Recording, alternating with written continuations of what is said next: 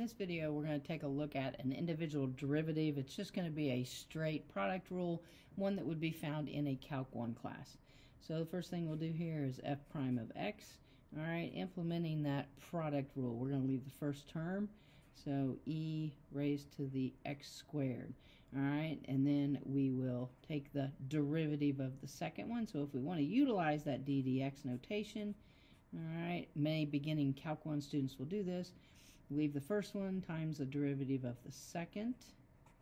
So we'll not actually take the derivative in this step. We'll just show that we're going to do this with our product rule. We leave the second function alone. And then we take the derivative of the first function. Okay, that, that line right there can be very, very helpful for that beginning one uh, beginning Calc 1 student, just so that we know, okay, what are we taking the derivative of, what are we not. All right, now on the second line, I will I'll actually start to take that derivative. I'll have that e raised to the x squared. All right, taking the derivative here, we've got memorized the derivative of tangent is secant squared.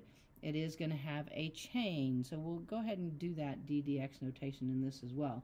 So we will take the derivative of the outside function, secant squared, leave the inside part alone, and then include the chain, so take the derivative of that inside part.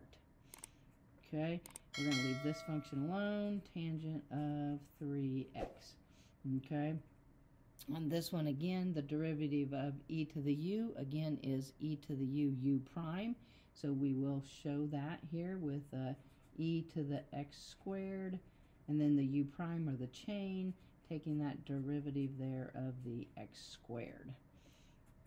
Okay, derivative here is going to be a 3, and I'm going to put it in the front, so I'll have a 3 e x squared secant squared of 3x. And then taking the derivative here, I'm going to have a 2x, so we'll put this in the front, and we'll also put this in the front. So I'll put that 2x in the front, we'll have the e raised to the x squared, and then we'll have the tangent of 3x. Okay, you can just leave it like that. If this were going to be a problem where you would need to find those critical points and move on maybe even into curve sketching, you would want to probably factor this to make those finding those critical points a little bit easier. But just for a straight derivative, you can leave it just like that.